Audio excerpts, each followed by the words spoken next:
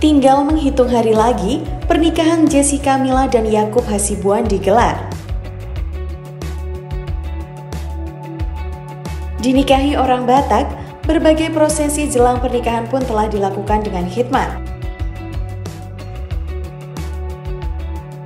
Seperti pada 29 April lalu, Jessica Mila baru saja melakukan prosesi adat Batak, yaitu mangain atau pemberian marga.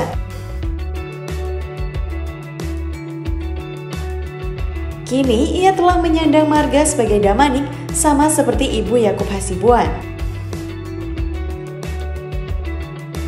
Melansir dari kapanlagi.com, ibu Jessica Mila Magdalena Jane Becker mencurahkan isi hatinya sekaligus membocorkan persiapan pernikahan anaknya.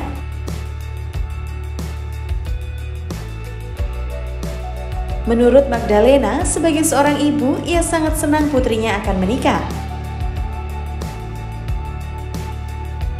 Ia juga menyebut pernikahan anaknya nanti mengusung beberapa tema. Di mana akan diselenggarakan beberapa hari.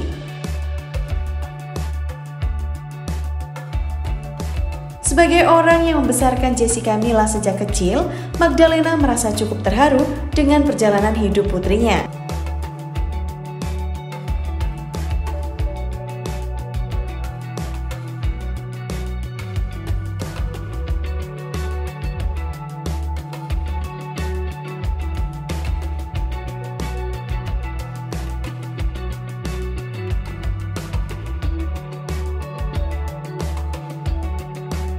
Lebih lanjut, Magdalena lalu menjelaskan rentetan acara pernikahan putrinya.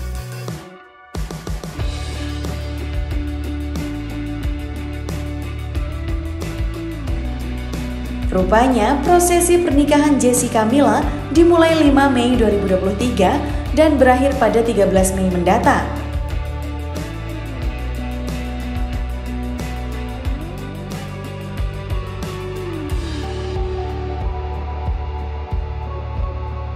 Selama rentetan acara berlangsung, Jessica Mila akan mengenakan beberapa busana yang terdiri dari busana adat dan busana modern.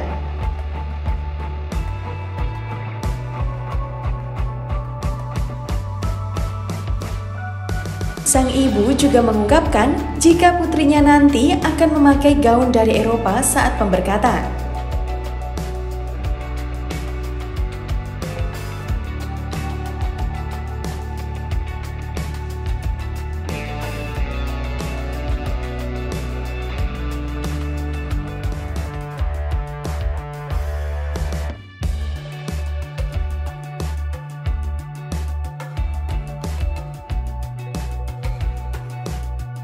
Kabar bahagia ini sontak membuat warganet penasaran dengan sosok Yakub Hasibuan.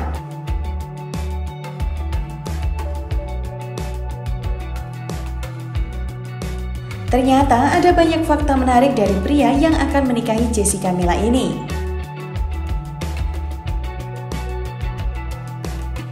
Yakub Hasibuan merupakan anak bungsu dari empat bersaudara.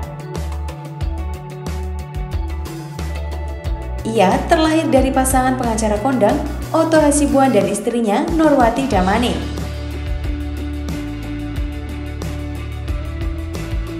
Lahir pada 13 Agustus 1995, Yakub ternyata merupakan anak lelaki satu-satunya di keluarganya loh.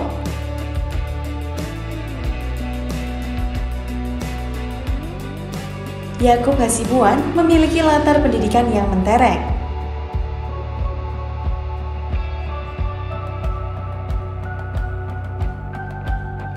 Usai lulus dari Universitas Indonesia, Yakub melanjutkan pendidikannya dengan mengambil sertifikasi finance di Harvard Business School pada tahun 2019 lalu.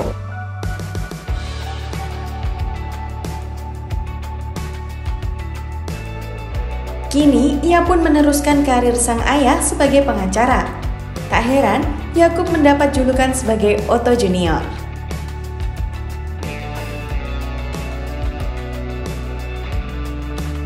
Tentu dari profesinya tersebut, Yakub memiliki pundi-pundi rupiah yang fantastis.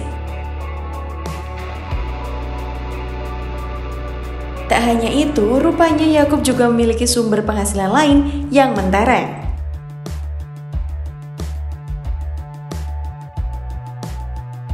Apa saja? Simak video ini sampai habis ya.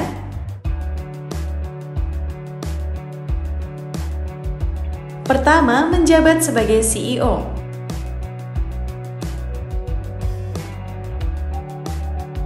Yakub Hasibuan diketahui menjabat sebagai Chief Executive Officer alias CEO dari dua perusahaan. Yakni perusahaan bernama Perkara dan Lima. Perkara merupakan aplikasi yang menyediakan layanan konsultasi hukum secara online. Sementara Lima merupakan perusahaan yang menyediakan solusi digital inovatif untuk para profesional, bisnis, dan organisasi. Kedua, Yakub Hasibuan juga pernah bekerja di Baker McKenzie sebagai associate. Ia bekerja di sana selama tiga tahun.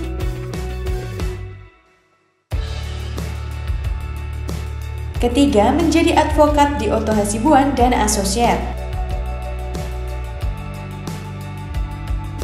Yakub juga pernah menjabat sebagai asosiat di firma hukum sang ayah selama enam bulan.